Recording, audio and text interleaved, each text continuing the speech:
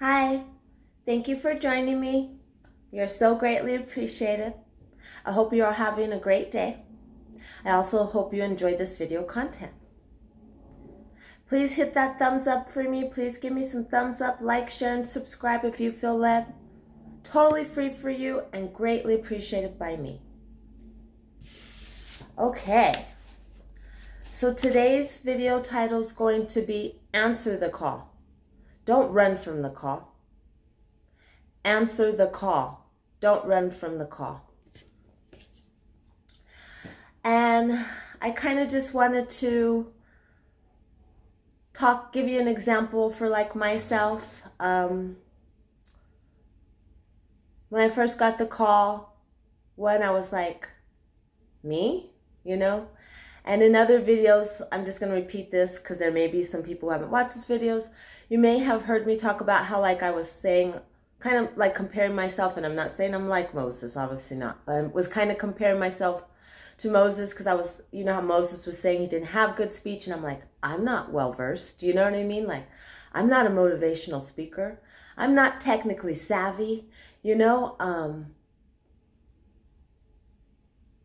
and so I had a lot of excuses and reasons why I didn't think that I would be good at um, the tasks that God commanded me to do. And then I was kind of like Jonah who ran, you know, and tried to hide. And then God put him in the well for three days. And I tried to run from it. And I, am sure some of you may be feeling this. We're going through these same things, you know. It's because it's like we don't believe in ourselves or we may not think we're worthy of the task at hand or call. And um, some of you may even feel like Neo, you know what I mean, in the Matrix, like, and I don't own copyrights or anything. I'm just making an example. um, you, some of you may feel like Neo, you know, um, because, you know, when he got called, and he even went back at one point, you know, he tried to go back to his job, and then the agents um, went looking for him there. And then, you know, Morpheus helped him out. So just understand that, like, I know it's not easy. You got to believe in the call, you know? You got to believe in yourself. You got to, like, know that, like, when I mean by believing the call, like, you got to know that God is with you. Like, it's not just you. You know what I mean? It's not just you. And that makes it a little bit easier, like, for you to do it, to answer the call because it's not just you. It's like when I think about this stuff in these title, you know, the stuff that I come up that he gives me to put on here, I couldn't think of this stuff. This definitely isn't me. This is like way beyond anything I would be thinking of or so you know, all glory to God and um just believe in yourself like he believes in you, you know? You are worthy. You know? And I kind of was like, during this process, you have super, super highs and you have super, super lows. You know what I mean? It's like peaks and valleys, and it's like, like a roller coaster ride. You know, it's like you're on a roller coaster ride. And I don't really like roller coaster rides, but like, you know, it's kind of like that. You know, you have those ups and downs and twirls and twists, and, you know, you go through that through the in this process. And that's okay. And you know what I do like is those like log rides. You know, you go way up and then you come down super fast and then all the water splashes on you and especially in the summertime it like cools you down. That's fun. I like that. And like the the swings, I think they call them the yo-yos. Oh, I like those. I feel like you could just spread your wings and fly and kick your feet.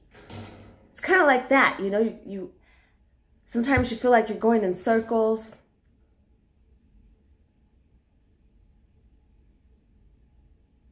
You know, and it's not always an easy process. But that's okay. And you're going to get to like some roadblocks. You're going to hit some hurdles. And some people can like fly and leap over those hurdles. And some people jump over those hurdles. And some people straddle those hurdles. and that's okay. we all are different how we approach things and how we handle things and how we go through things and how we respond to things. And that's okay.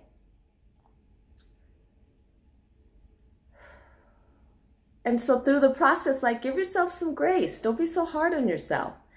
And know that you're being supported, you know? Because it's not just you. God's with you. And he wouldn't have you like, God wouldn't have you, he wouldn't put you in a position that he knows you cannot handle or do. It's like God's already cleared the path. He's walking beside you. He's walking behind you. Like God knows that you can do it. You just got to apply yourself and commit. And I'm not going to lie to you. It's not always easy. No, it's not always easy. But that's part of the process. And it's like a learning curve, you know? It's a learning curve. And you can do it. You'll get through it. And through that learning curve, like you, you know, you learn to like, you learn so many things, of course, but you learn to like believe in yourself more. You learn how much you really are supported, you know? You learn that you can do the task at hand. And a lot of times, like, we don't understand or see you know, God has bigger plans than we can ever imagine. Like, He believes in us and has plans for us that are that we don't can't even think about that we don't even know we want.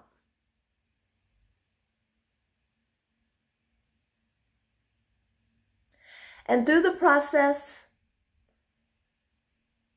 you've got to understand that yes, you're going to have super, super highs where you feel like you could fly. I mean, there'll be times where you feel like you could literally fly. And then there's going to be times where you got to pull yourself, you got to feel like you got to pull yourself out of that gutter. You know, you got to pull yourself out of that gutter. And you can do it because you are really supported. Even if you feel like you're by yourself, you are not by yourself. You are not alone through the process. You are being supported. And you can do it.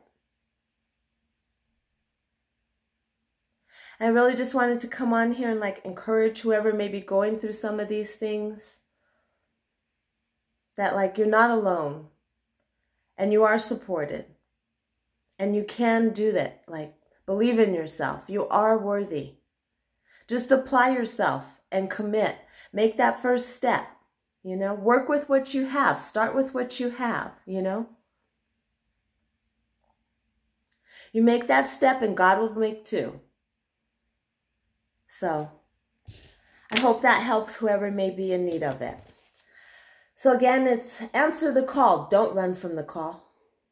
Because when you run from the call, it makes things like you're delaying things and you're making things so much harder. It's like you're resisting.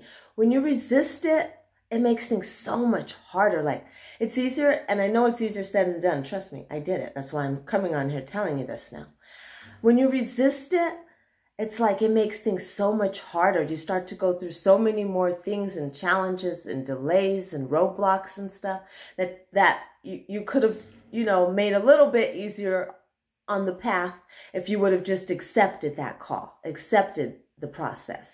So please don't resist as much as possible. Accept, you know, accept, accept that call, okay? And there's something else I wanted to say. Oh, yeah. And just remember, like, God is in control. God is in control. Like, God's going to get what he wants in the end. Like, you know? So it's better for you to do it sooner than later, you know? And really, he wants the best for you. It's, I know it's during the process, it's like so hard to see. And even when you go through things like things that you wanted that just didn't work out for you, or like things that you've lost that you have worked so, so hard for, you know, so hard for for years, for decades, you know, for some of you. Um, even when you go through that loss and, you know, you're not understanding like, dang, you know, I thought I was being supported or um, why did I lose this? or why did it happen this way? or you know, I'm not understanding. Like, I know it's hard, but you got to lean not on your own understanding sometimes during this process. Because, like, later, a lot of times it will come to you, like, after the process, you know, then you'll see, oh, this is what God was doing. oh, I get it now. You know what I'm saying? You'll be like, oh, that's why that happened. Like, it's so that you can learn things and grow and have strength and believe in yourself. And, and, you know, some of us build your faith stronger and your trust stronger in God. And, um, you know, reasons like that. So I know a lot of, when I first started, I would watch a video and this, this one influencer, and he's really good. He would say things like, enjoy the journey and enjoy the process. And I'd be like, how can I enjoy this? Like, how can I enjoy losing everything I love and worked so hard for to build and to have and etc. And then I got to a point where I was like, you know, I, it would trigger me. It would trigger me when he said that. And a lot of times when things trigger you, it's because it's like, it's something you need to like work on or understand or heal from, etc. You know? And it would trigger me and i'd be like how could i understand but i loved his content i'm not saying he was wrong obviously he was right love his content it's encouraging and um i'd be like how can i you know appreciate the process when i'm losing everything and i'm so hurt and i've worked so hard for these things these things weren't given to me you know and that's where, where again, you have to lean not on your own understanding. And I got finally to the point where I was like, oh, I totally get it now, you know? Ooh. That's weird. You guys hear that? The timer? Ooh, confirmation. And it's like, um, I really had to get, and then I got to the point where I was like, dang, I get it now. Like, yeah, you do. As hard as it is, and I know you're hurt, and it's okay to be hurt by the things. I'm not saying that you're not human and you can't hurt, you know, excuse me, those things. Totally get that because I was there. But like then I got to a point where it's like, you know, after and you're like, oh yeah. Because through the pain, you like really gain a lot of knowledge, wisdom, strength you really learn to appreciate the smaller things in life and like value, you value things so much more. And it's such a learning curve and process in so many ways. It helps you build your faith and trust in God so much more. And so I really just wanted to come on here and say, even if it's not as easy to enjoy the process, you'll get to that point where you do. And you'll be like, oh, okay, there's a lesson to be learned in here you know? And then and then you're like, I get it now. Okay, I get it.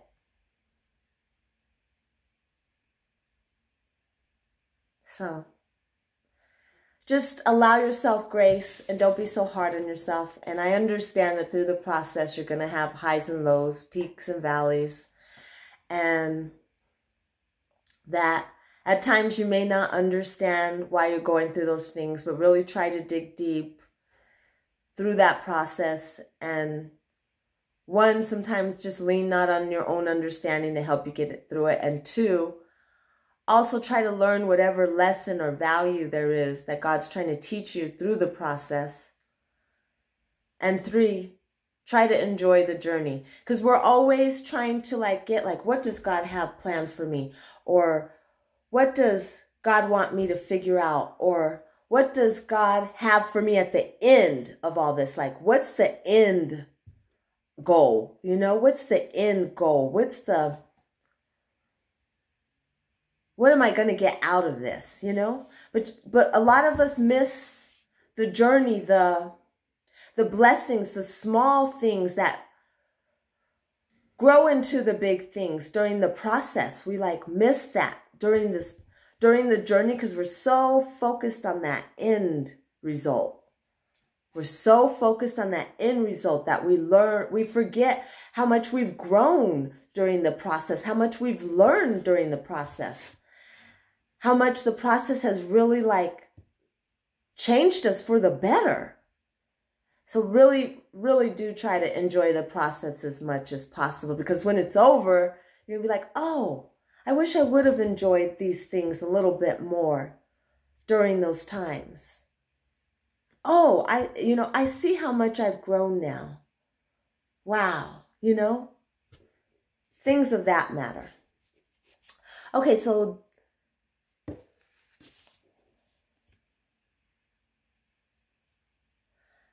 Okay, so this is Matthew 12, verse 40 through 41 in the KJV version.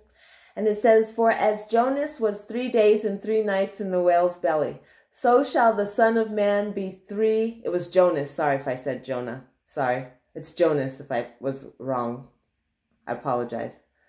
For as Jonas was three days and three nights in the whale's belly, so shall the Son of Man be three days and three nights in the heart of the earth.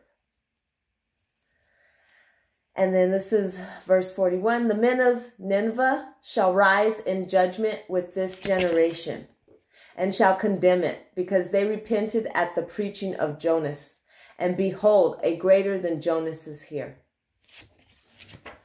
And then I have Matthew chapter 12, verse 31 and 32, KJV again. Wherefore I say unto you, all manner of sin and blasphemy shall be forgiven unto men, but the blasphemy against the Holy Ghost shall not be forgiven unto men. And whosoever speaketh a word against the Son of Man, it shall be forgiven him. But whosoever speaketh against the Holy Ghost, it shall not be forgiven him neither in this world, neither in the world to come. And then I wrote 33 as well. Either make the tree good and his fruit good, or else make the tree corrupt and his fruit corrupt. For the tree is known by his fruit. Yes. So I always say, always please test any Test the spirit on any messages that you get from myself or anyone else that you may listen to. Another thing that I wanted to say and point out, please, is that um, a lot of times, like when God will send you notifications or um, recommendations, like sometimes you'll feel feel called to them. And sometimes they're from God, and you'll know by like, does it match up to the Bible? And um, sometimes you got to be careful because that's why you got to always pray and ask for discernment and wisdom because sometimes at the same time the enemy will use those same tactics to try to get your attention. And remember the enemy is a copycat and he is a counterfeit. So like always test the spirit on any notifications or recommendations or whatever you may be called to because you know if it's from God it's to you know it's to match up to the Bible and his word and everything. And if it's from the enemy it's to be the opposite. You know it's not to match up to God's word. So in the Bible so um and or the promises and stuff that he's made to you so just please always be careful with what you're like watching or gathering in your energy or entertaining yourself and whatnot. And test the spirit on that because, you know, that will help you know if this is like from God or the enemy because, you know, he speaks to us in so many ways. It could be from prophetic messages, notifications that you get, or it's on your like recommendations when you're um, scrolling on, you know, your YouTube channel or feed. It could be through music, movies, people, um, you know, numbers, animals, um, sh shows you're watching, just a lot of different ways. So just please always test the spirit on it, okay? And um, I just wanted to thank you all for joining me, Spiritual Seeker. You're so greatly appreciated. All glory to God. I greatly appreciate all the beautiful and kind comments that you guys are giving me. Thank you so much. But all glory to God. Um, and I am thankful for them, though. I really appreciate them, and I appreciate you guys so very much. And I'm just thankful to have you guys with this journey. And we are one, we're a family, and you are so greatly appreciated. I hope you guys all have a blessed and wonderful day. Prayers and blessings to all. Bye.